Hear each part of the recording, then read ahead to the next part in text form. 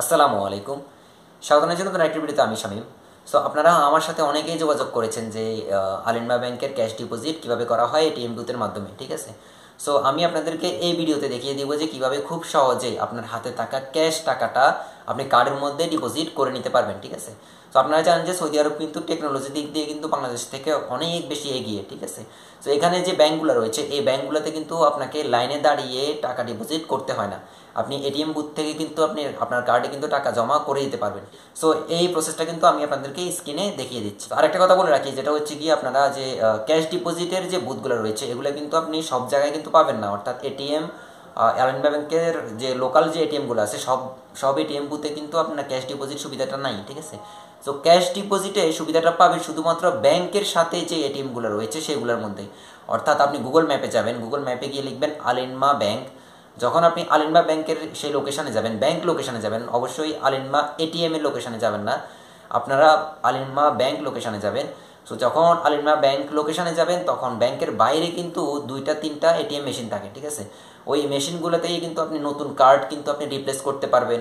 অর্থাৎ আপনার পুরাতন কার্ডটা দিয়ে নতুন একটি কার্ড কিন্তু নিতে পারবেন, ঠিক আছে? ওখানে কিন্তু আবার টাকা উইথড্র করার ইয়া থাকে মেশিন থাকে, যেখানে হচ্ছে কি আপনি টাকা উইথড্র করতে পারবেন। এবং এখানে আরও একটা মেশিন থাকে, যেটা হচ্ছে ক্যাশ ডিপোজিট অর্থাৎ আপনি টাকা কিন্তু ওই মেশিনের মাধ্যমে কিন্তু ক্যাশ ডিপোজিট করতে পারবেন, ঠিক আছে?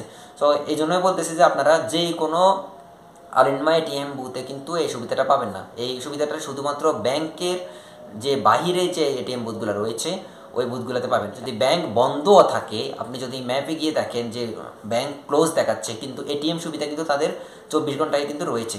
অর্থাৎ ব্যাংক বন্ধ থাকলেও কিন্তু আপনি ডিপোজিট এটিএম ডিপোজিট মেশিনের যে সুবিধাটা আছে এটা কিন্তু আপনি চব্বিশ ঘন্টায় পাবেন। চলুন আমরা স্ক্রিনে চলে যাই আমরা এবার দেখে নিব যে কীভাবে আপনারা ক্যাশ ডিপোজিট করে নেবেন। আপনাদেরকে দেখানোর জন্য আমি গুগল ম্যাপ থেকে আমার কাছের যে আলেনমা ব্যাংকের ব্রাঞ্চটা রয়েছে, এই ব্যাংকের কিন্তু এখানে চলে এসেছি, ঠিক আছে?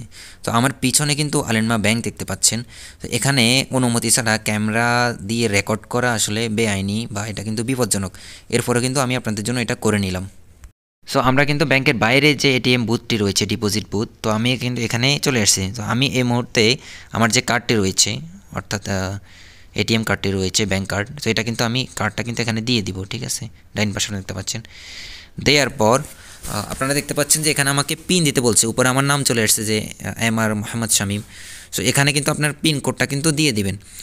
দিয়ে দেওয়ার পর, ডাইন পাশে কিন্তু আরবিক আরবি ভাষা রয়েছে। বাম পাশে কিন্তু ইংলিশ রয়েছে। তো আপনি বাম পাশে ইংলিশ অ্যাকসেপ্ট দিয়ে দিবেন। যেহেতু আমরা আরবি বুঝি না।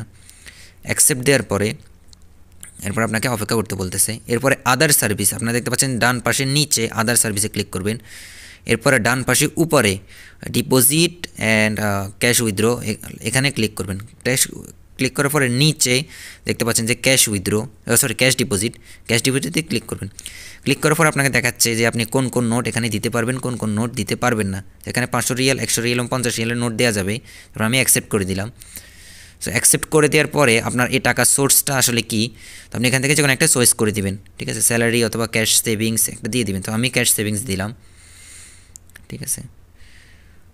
ক্যাশ সেভিংস দেওয়ার পরে আপনারা দেখতে পাচ্ছেন যে মেশিনের কিন্তু এটা খুলে গেছে।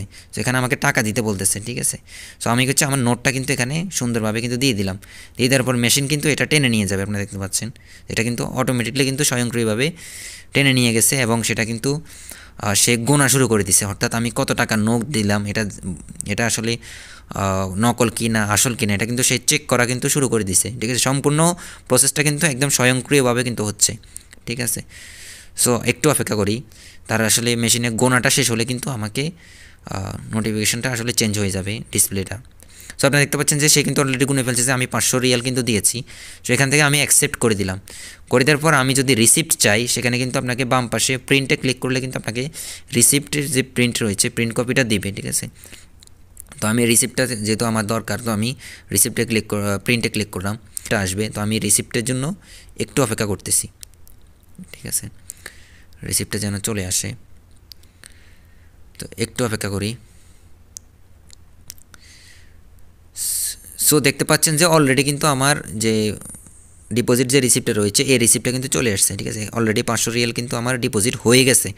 সো আমি এখন কিন্তু আমার কার্ডটা নিয়ে যাব, ঠিক আছে? অর্থাৎ আমার কার্ডটা কিন্তু সে মেশিন থেকে বাইর করে দেওয়া হয়েছে, আমি কার্ডটা আসলে নিয়ে নিব, ঠিক আছে? সো এভাবে হচ্ছে আলেনমা ব্যাংকের ক্যাশ ডিপোজিট খুব সহজেই মাত্র দুই মিনিটে আপনি করে নিতে পারবেন। সো ভিডিওটা যদি ভালো লাগে এবং আপনার যদি উপকারে আসে, তাহলে অবশ্যই অবশ্যই লাইক অ্যান্ড সাবস্ক্রাইব করবেন এবং আমার চ্যানেলের সাথেই থাকবেন। ধন্যবাদ।